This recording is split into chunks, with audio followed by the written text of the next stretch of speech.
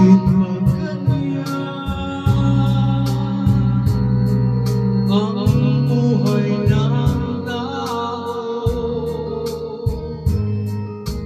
Mayroong mayaman, may apil sa